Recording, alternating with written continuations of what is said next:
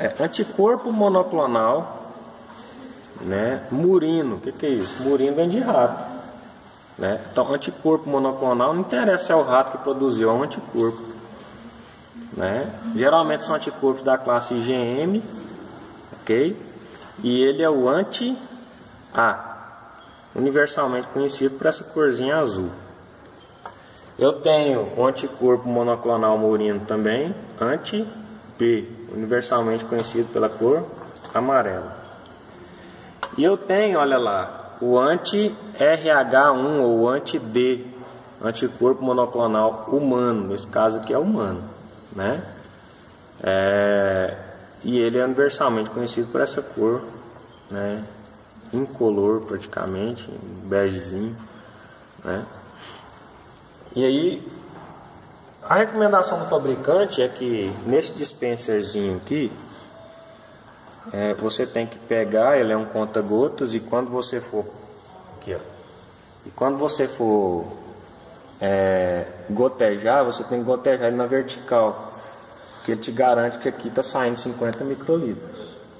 Se você der a bobeira de pingar assim, então olha só, 50 microlitros, olha o tamanho da gotinha. Se você pingar sem ser na vertical, olha o tamanho da gota. Então sai muito mais do que 50 microlitros. Então a recomendação técnica do fabricante é que sempre se pingue na vertical. Tá? E aí você não precisa ficar, é, obviamente, é, pipetando desnecessariamente. Ou você pega uma pipeta pipeta 50 microlitros de lá, 50 microlitros de cá.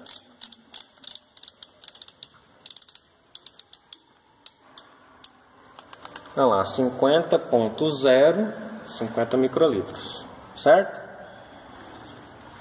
Uma pipeta variável, você não pode pegar essa sem ponta aqui, ó. às vezes você tem dificuldade, você quer número inteiro, 50 microlitros.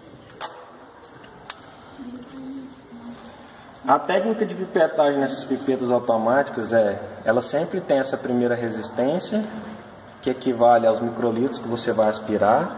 E se você apertar um pouquinho mais, olha, ela desce. Viu? Isso aqui é para desprezar a última gota. Por que, que eu falo isso? Tem aluno que erroneamente vai lá no talo e pipeta. Quando ele aspira, ele vai aspirar muito mais do que 50. Tá? Então, procedendo à leitura. Vamos ver aqui. O seu Vilmar é O positivo, a Cintia é A positivo. Vamos para a Cintia então. Cíntia. A positivo. Tá?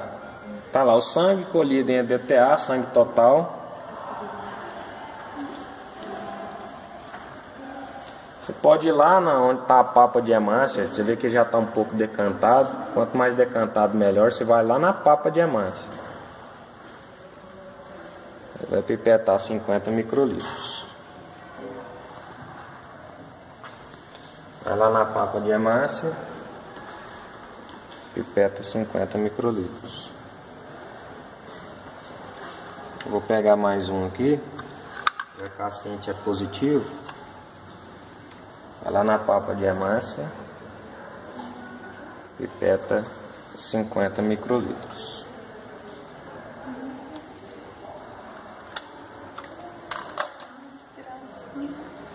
Aí pessoal, você vem e pinga o anti-ar.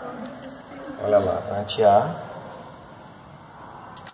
Você vê que a gotinha é semelhante. Isso é importante. Isso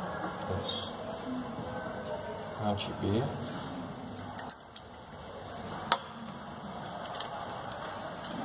Anti-RH. E para não se perder, igual a Paula Fernandes, você vai colocar aqui anti-A, anti-B, anti-RH. Aí põe aqui só para não esquecer, RH, B, A. E aí depois que você pingou a gotinha, você vai homogeneizar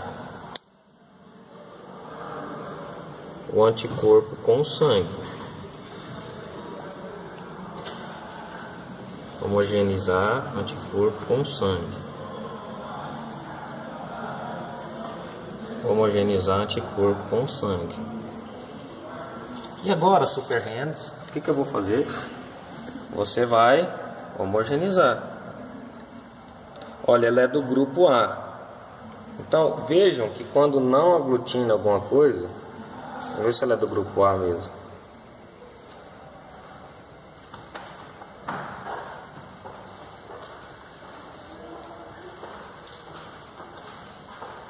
Então deixa aqui um pouquinho homogeneizado. Homogeneizar agora o B.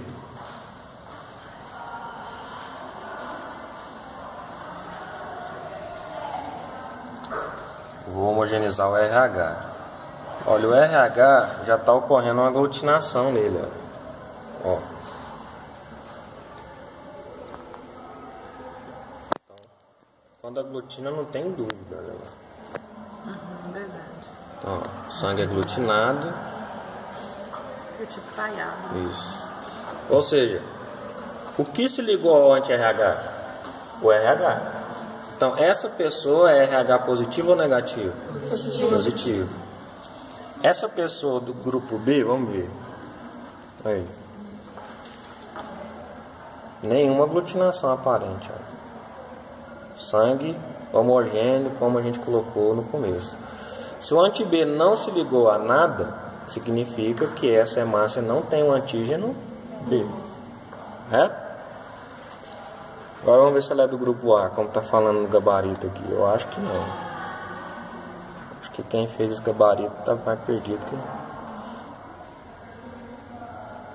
Então, olha aqui, ó, não se ligou também. O anti-A não se ligou a nada. Olha lá, o sangue é homogêneo, tranquilo. Porque quando aglutina, olha lá a diferença de uma aglutinação para uma não aglutinação. Então aqui está aglutinado, aqui não, não aglutinado.